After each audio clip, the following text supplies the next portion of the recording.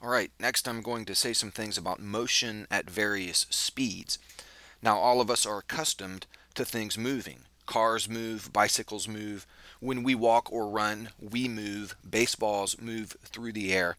Of course, plenty of things in our everyday experience move. Some things, though, move too slowly or too quickly for us to perceive. A bullet fired from a gun, for example, can be supersonic and it can be too fast for your eye to see. Take a look at this picture.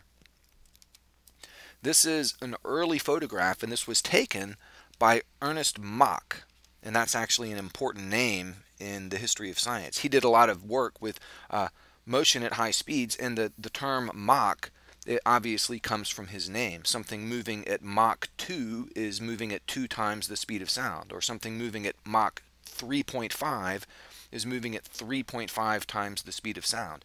And that idea of a Mach number to refer to its speed comes from Ernest Mach. But he took this photo, and this was from the late 1800s, uh, not too long after cameras were developed, and he was able to get a high-speed photograph of a bullet. And you see the bullet here is moving to the left, and it produces this shock wave that you see in front of the bullet that is actually a cone shape, and you see some turbulence behind it. We talk more about shock waves and supersonic motion in, in the physics class also.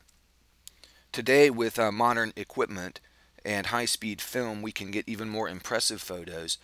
This is a photograph by a photographer named David Neff, and you can look him up on the internet. He has a lot of um, very impressive photographs, and this is a 22 caliber, caliber bullet going through uh, some crayons, obviously. But look at that. The photography is so good there. You can see the little pieces of the wax crayon that have just been shattered, and the bullet, even though the bullet is moving at supersonic speeds, moving faster than sound, uh, it's not even blurred in this photograph. Here's another high-speed photograph. This is a picture of a nuclear explosion. So a, a, nuclear bomb basically in a test, and this is right after the explosion. In fact, this photograph was taken less than one millisecond. In other words, less than one one thousandth of a second after the explosion. And this fireball that you see is 20 meters across.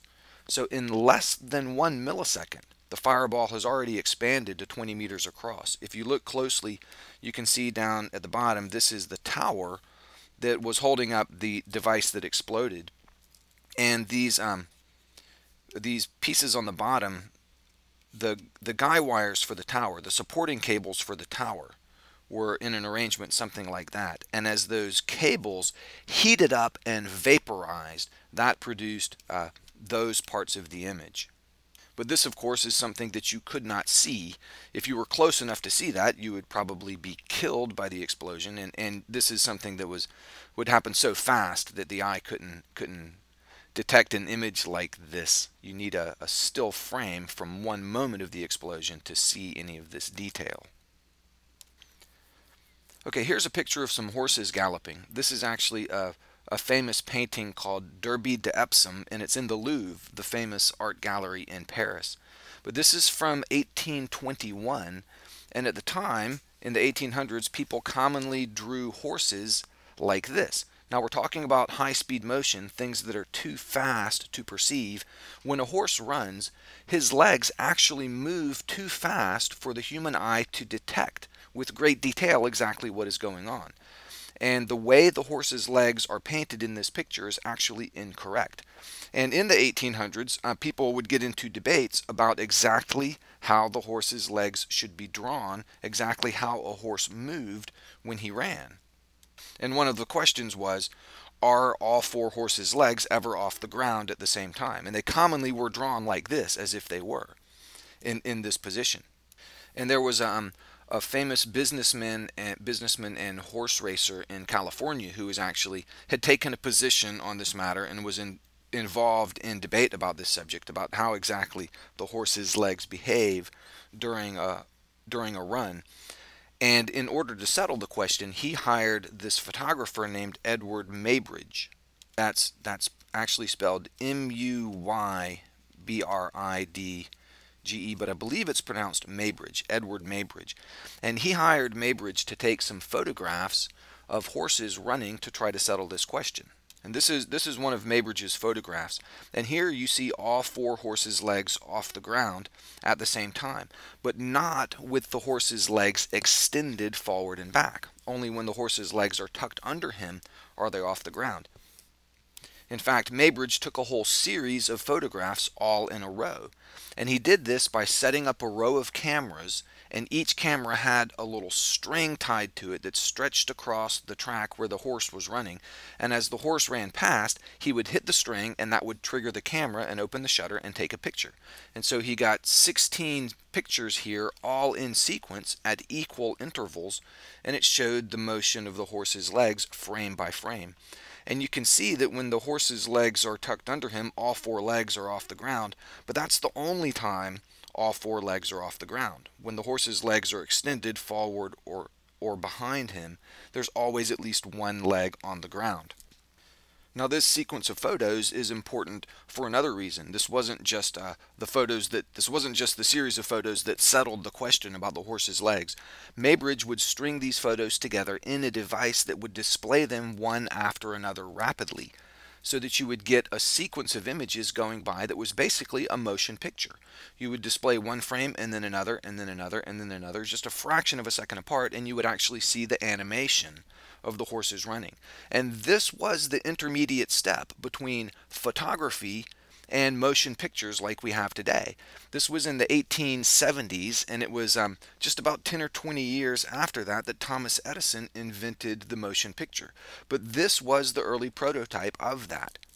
This specific question of the horse's legs and these photos that you're looking at here ultimately led to the development of motion picture cameras and the film industry that we have with us today.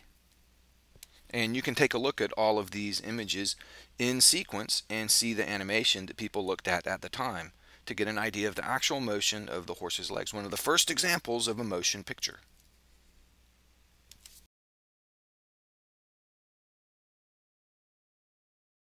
Um, some things move really slow. This is a picture of a glacier. And a glacier is a river of ice. And that's literally what it is. And it's about the size of a river. And this is a glacier in Norway. And it's flowing down into this lake at the bottom. And it literally flows like water, but it moves very, very slowly. They move a few feet per day. The pressure, the weight of all of the ice up top, pressing down, causes it to move. And it slowly pushes and grinds down and cracks form and everything, and it can be dangerous. Uh, people sometimes fall into the cracks if they're hiking on a glacier. Snow might snow might cover the top of the glacier, but there's a, a, a what they call a crevasse underneath the crack, and um, they can fall through the snow and into the crevasse. But those crevasses form because it's moving. The the ice is literally flowing down the mountainside, and it causes a lot of erosion. Uh, the it digs through the side of the mountain, scraping up rock and dirt but it moves very slow. Sometimes you hear the, the term glacial used as an adjective. Someone is taking a really long time to do something.